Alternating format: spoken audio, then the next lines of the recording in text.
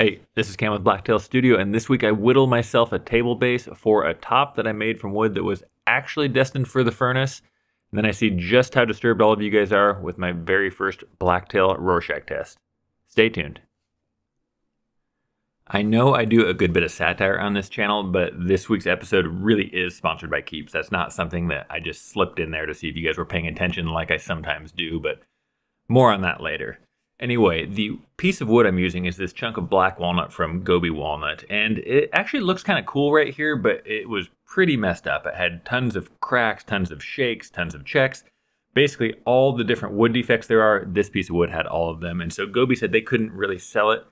And their shop is actually heated in the wintertime by a wood furnace from all their offcuts. So they were going to burn this chunk, and so I am going to try to repurpose this, give it a second life as kind of a cool bistro tabletop.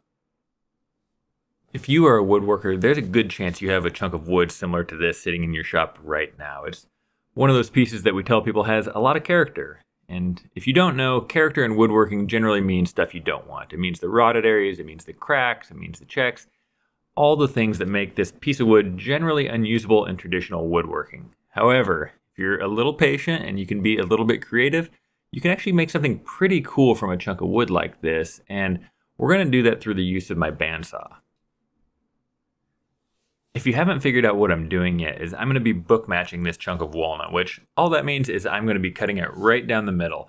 And what happens is when we open this up like a book, it forms a sort of a mirror image of itself. And normal, straight grained, traditional pieces of wood that you would use in woodworking, they look fine if you book match it, even pretty cool. However, if you get these character pieces with all the knots and swirling grains and cracks and voids and rots, all of these form mirror images of each other as well, which gives it a really, really cool effect. We had some fun on Instagram and the YouTube community tab finding out what everybody sees in this image because so many people saw so many different things and nobody saw what I saw, which I thought was bizarre. Although maybe it's not that bizarre once you finally hear what I saw, but anyway, that gave me an idea. Some of you might know at the end of these videos, I like to have a call to action, whereas I say, hey, if you made it to the end of the video, say this word at the start of your comment, and I'll know you made it all the way to the end. And this week we're going to do it a little bit different, meaning the word at the end is going to be just what you saw in that image there, or the finished image of this table. But I also want to see if anybody can guess what I saw. And I'll have some hints throughout this video. That'll be part of the teaser to keep you watching the whole video. I'll give a series of hints throughout the video but I want to see if anybody can guess. And if they can guess, I'll send you something kind of cool. I have a kind of a cool piece of wall art that I made a while ago for no particular reason. And I also offer these consultations on my website where I can help people with woodworking questions or business questions, or we can just hang out for 30 minutes. So if you want the wall art, you can have that. If you want to hang out and chat via Google Meet for 30 minutes, we can do that too. But that is going to be the call to action at the end of the video. If you missed it over my ramblings, all I've done so far is I joined these boards together with wood glue, and I did use dominoes to help line things up. If you don't own a domino, don't worry about it. Wood glue would be plenty strong enough. Then I went and I sealed it all with a clear epoxy and filled all the voids with a jet black super clear epoxy. And I know that sounds like an oxymoron, that's just the name of the brand, and I will include links to everything in the description below. Now we're going to let that set for a few days, let it cure while I work on this base. And if you want to skip ahead any part of the video or you want to go back, I do have timestamps where you can scroll along the bottom and see the progress of the whole project. So if you want to see how that top ended up, go ahead and skip ahead now. But I do think this power carved table base actually turned out pretty cool. I'm going to be using one of my favorite jigs, and this is just a really simple bandsaw circle jig. And I didn't invent this. There's plenty of YouTube videos out there if you search them for bandsaw circle jigs. I just made a pretty basic one, and I did find a way to mess it up though, and this was a new one to me. And I've used this jig a lot, but it's always been with thinner stock. And this like two and a half inch chunk of walnut started to pinch on the blade and I didn't know what was happening. I had to figure this out over the next like hour or two and it started to smoke and bind up and it was almost stopping the blade altogether. So I aborted this project mid-cut, came back and it took me, like I said, a little while to figure out what was happening. But what actually happened was there was so much friction going on that it was actually melting the bandsaw tires. And I have never had that happen. And I have cut a lot of smaller circles than this on there before So it took a little bit of a trip to Woodcraft to get some new tires. I ended up replacing the blade too because it had been several years since I'd replaced this Resaw King blade. Kind of a bummer, but in the end I was able to complete the cut. And I don't think at this point I'd even figured out what the problem was because I shouldn't have made that basically that same cut there. But this is how we're going to start our power carved table base. All right, hint number one for what image I saw in the book matched boards. I saw an animal, but the animal was not the rabbit from Donnie Darko. Although I really liked that guess from quite a few people on the YouTube community page. Also worth noting, if nobody guesses what I guessed, I will give the prize to the person that just makes me laugh the most. So keep that in your back pocket. At the start of the video, when you saw that a hair loss prevention company was sponsoring this week's build, you probably thought exactly what I did when they first reached out. What a perfect ambassador for hair. I come from a time when it was not only acceptable, but encouraged to mock your friends and tell them everything that's wrong with them. And since I started losing my hair when I was about 19, my friends reminded me basically every day just how bald I was until I finally admitted it around age 21 or so and finally just shaved everything off. It took a little longer than I would have hoped, but luckily for me, two thirds of guys experience some form of hair loss by age 35, and I really feel like I'd be doing my friends a disservice if I didn't share the same courtesy with them now that they showed me when I started losing my hair. Unlike in 2001 when I started 2001? That can't be right. Really? Unlike in 2001 when I started losing my hair, today people actually have options. And luckily for my college buddies, Keeps is affordable enough even for most current college students and you can get treated right from home. So if you're ready to take action and prevent hair loss, go to keeps.com slash blacktail or click the link in the description below for 50% off your first order. That's K-E-E-P-S dot com slash blacktail. The chunk of wood I'm using here is about a 4 inch by 6 inch thick chunk of black walnut and I cut a 3 degree angle on the bottom and a 3 degree angle on the top and this is going to help it taper from the outside on the base and end up in the center under the table. And this is kind of by design, meaning that if I tried to make a perfectly symmetrical table, I am just not good enough at carving that it would look natural. It's not done on a lathe, so I no way I could carve a perfect tulip base by hand. So the more intentionally asymmetrical I can make it, the more natural I think it'll look in the end. And just removing the bulk of that material with the bandsaw so it can save me some time carving later. And this is my Domino XL, putting a big 12 millimeter by 140 millimeter domino right down the center of it. And this is just gonna help keep everything lined up for my glue up, which I'm gonna be using epoxy for this glue up. And this part here, I'm pretty sure is not supposed to be how the domino is used, but that's how I came up with, and it actually worked pretty good in the end. Had it clamped down, and then just pushed it straight into the base and it went in perfectly straight. So what's the problem? But if you do decide to do this, just be careful because you'd probably hurt yourself or maybe even worse, break the domino. You'll notice I did the best I could at lining these grains up to run parallel with each other from each section. And this is because all wood is going to continue to expand and contract across the grain seasonally. So if I'd mounted these perpendicular to each other, there's a really good chance that you would get some cracking and separating between these two pieces. And I even did the best I could with that vertical shaft section, although I don't know how necessary it was with kind of a smaller section like that. Also mounted it backwards right there. So luckily it wasn't too fast, wasn't using super glue or anything. Got it mounted in the right direction. Had to get a little bit creative with my clamping style here and this is probably, there's probably a name for this. I've never done it quite like this before and Took a little bit of tweaking, but in the end, I actually got it pretty good.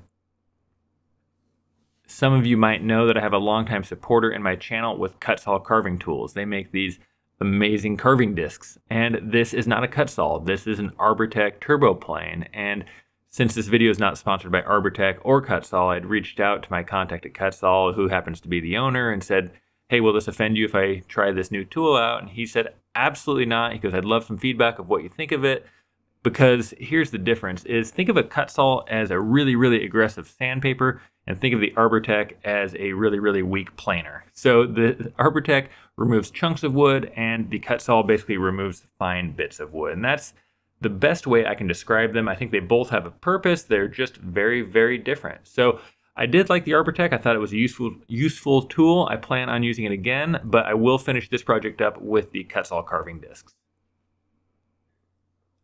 I think you guys would be delighted to know that over the years I've had an outpouring of support for my neighbors from a handful of people here in the YouTube comments. There have been a number of people that have said how much my neighbors must hate me, and if I was in their HOA, they would get me kicked out or arrested for making so much noise and so much dust. And I think that's very sweet that people care so much about my old neighbors my current neighbors, even though they've never met them. So I do want to address that now if I can.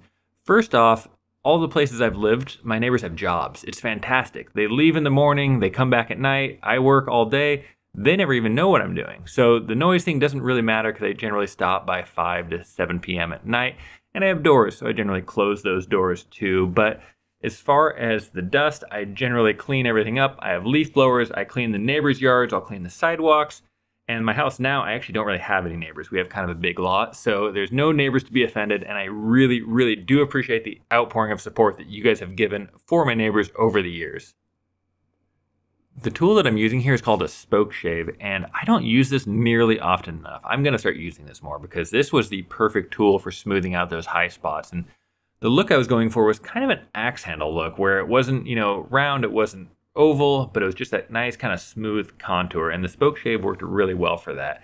I had a few other tools that I used. I liked these Kutzall rasps. They work really well. I also use some regular rasps, but these don't get dull. They don't clog very easily, and they do a really good job at removing a lot of material in a hurry. I do recommend wearing gloves if you're going to use them because they are so sharp they can actually wear down your hands pretty quick. All right, hint number two for what I saw in the book matched image it was a mammal that weighs anywhere from 22 to 82 pounds, according to Wikipedia, and that's for the small females up to the large males. And I'm not going to be a super stickler about this, but try to keep it to one guess per comment. If you copy and paste 50 different guesses in the same comment, I'm just going to say you don't win, even if you accidentally had the right guess in there. So let's show some YouTube ethics and keep it to right about one guess per comment. This next bit is something I probably could have done earlier on, but I do think that it's best to wait to the very end to do it. And what I'm doing is I'm just hollowing out the underside of this, just concaving the underside of this table base because as someone in a past video pointed out, this is exactly how Coke bottles do it, or Coke cans, or cereal bowls, or plates. Basically, anything that sits on a flat surface has just kind of a smaller lip because it's much easier to make that smaller lip flat than an entire wide flat surface. So that's what I'm doing is I'm just making it so only thing that's going to be touching the ground is this small about two inch ring at the very edge of the table. For the underside, I didn't do any additional smoothing or sanding on that concave section. I left it with that kind of rough textured look, and this was for a couple reasons. First thing is I actually kind of like the look of that textured look, but second and much more importantly, I really didn't want to go any further than that. It would have been so much work to sand and smooth that out as smooth as this part here for something you're never actually going to see. So you can call me lazy, but I would really prefer it if you said that I went with the artistic touch on the underside. Anyway, the finish here, I was using Rubio Monocoat. I ended up sanding to 400, which is higher than I normally go and I thought it would actually be a lot more impactful than the 180 grit that I normally go to. And in the end, I don't think I actually liked it quite as much. So in the future, I'll probably stick to that 180 or 240 that I normally do on my tops. I had another larger project to take to creative woodworking this industrial shop that I go to in southeast Portland, which by the way, I said northeast last time because it's north of me and someone that was local pointed out it's actually southeast. So up at Creative Woodworking in Southeast Portland, and I had a couple minutes to spare on my 30 minute minimum.